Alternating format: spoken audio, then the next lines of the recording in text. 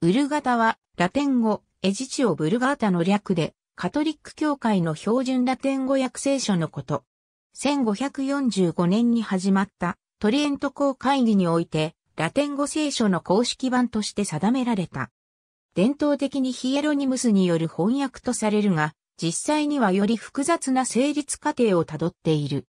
カラバッチオによる絵画、執筆する聖ヒエロニムス・ヒエロニムス役以前にも、エジチオ・ウルガタという名称は用いられていたが、これはコラテン語聖書を指していた。つまり、すでにヒエロニムスの時代において聖書は完全なものから断片的なものまで多くのラテン語訳が存在していたのである。ヒエロニムスの業績はそれらのラテン語訳を踏まえた上で、言語を参照しながらラテン語訳の決定版を完成させたことにある。ローマに滞在していたヒエロニムスは、紀元382年、時の教皇ダマスス一世の命によってラテン語訳聖書の皇帝にあたることになり、はじめに、新約聖書に取り掛かった。四福音書は、コラテン語訳をギリシャ語テキストと付き合わせて誤っている部分を訂正した。他の文書に関してはほぼそのままフルラテン語訳を用い、ここにヒエロニムスによる新約聖書の最初の皇帝版が完成した。386年、パレスチナに移ったヒエロニムスは、旧約聖書の皇帝に取り掛かった。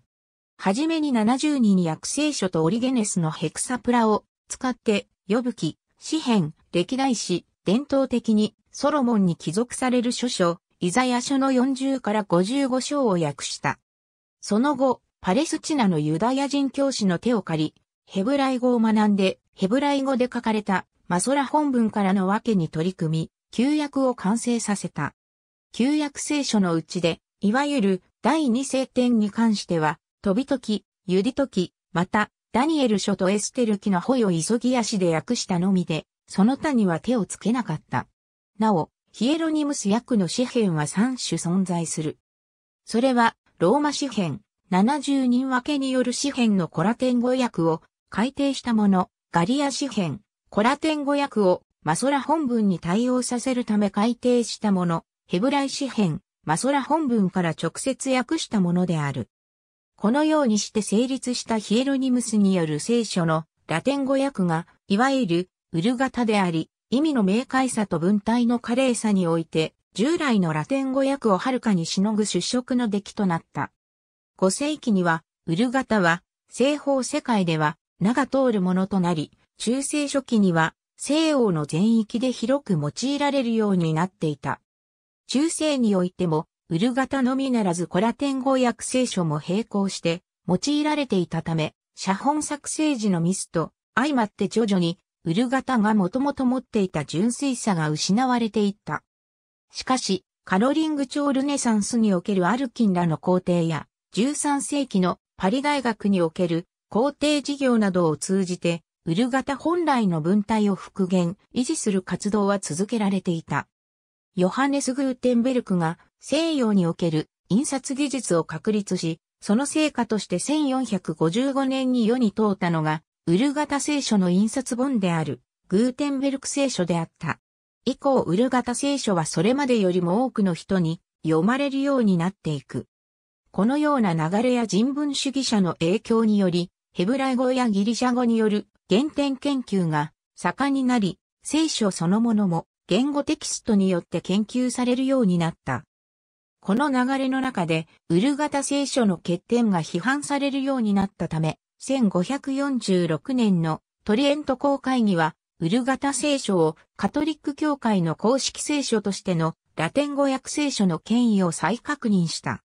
だが、これは当時様々なものが流布していたラテン語聖書の中で、ウルガタが歴史と伝統において評価されたことを示すもので、決して言語で書かれた聖書を否定するものではないことに注意が必要である。その証拠に、トリエント公会議は、ウルガタをさらに厳しく校訂して、新しいラテン語聖書を発行することを決定している。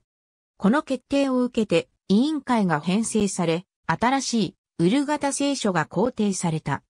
教皇シクストゥス5世は、完成を急ぐあまり、自ら手を加えてまで見切り発車的に新しいテキストを発表し、シクストゥス版として、これを決定版とする発表を行った。しかし、これは学問的にあまりに不十分であるという理由からすぐに取り消され、ロベルト・ベラルミーノを中心とする委員会によってさらなる工程が行われ、クレメンス8世時代の1592年にシクストゥス・クレメンティーナ版として発表された。20世紀に入ると、教皇ピウス10世の下で最新の研究に基づいたウル型の工程が決定され、ベネディクト会員らによって新たなテキストが発表されている。さらに1965年には、教皇パウロ6世の指示によって原点に基づいた、ウル型聖書の工程が決定され、1979年に完成している。これは、ノバブルガータ、新ウル型聖書と言われるものである。